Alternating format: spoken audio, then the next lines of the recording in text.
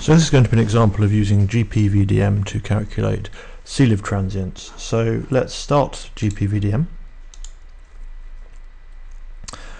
and make a new simulation by clicking on the new button. And we can create various types of simulations. So we can create organic solar cells and various types of inorganic solar cells and even organic LEDs but this time we're going to choose an organic solar cell. So we'll click next and we'll choose somewhere to save it. So I'll save it in the directory simulation. There we go. And here's our um, organic solar cell.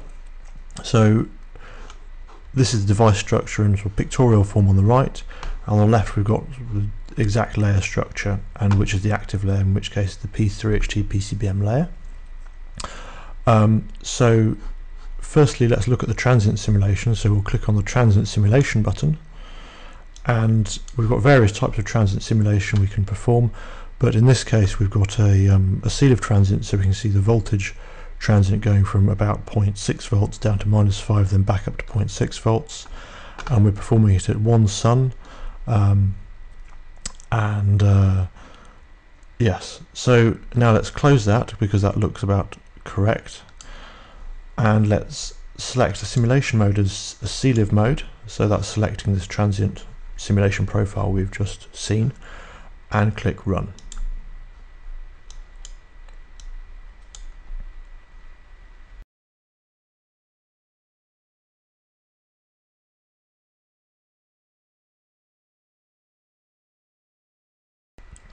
So now the simulation's finished so we can look at the results. So we go and find the plot file. So firstly let's look at the uh, the voltage transient.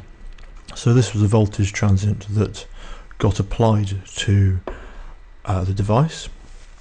Uh, so now let's look at the actual current transient. So let's look at pulse I. And I think we just need to invert the axis. So and then zoom in on the actual CELIV transient. So this is the CELIV transient. And that's a typical CELIV transient one might expect from uh, solar cell. So let's close that. And now what we can do is we can run a series of simulations to examine how a particular parameter affects the CELIV transient. So let's look at the parameter scan window and add a new parameter to vary. So, and we select it from a list here. So in this case, I'm going to vary the electron mobility.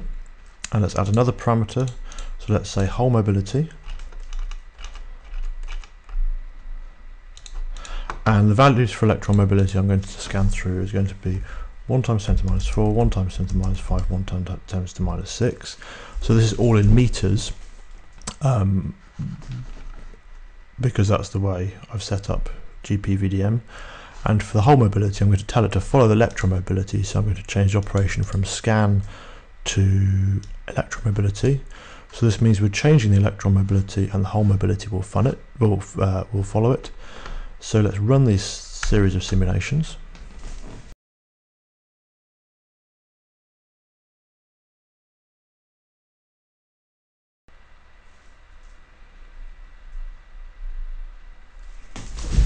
So the simulation is now finished so we can look at the results. So let's look at the, let's find a file to plot.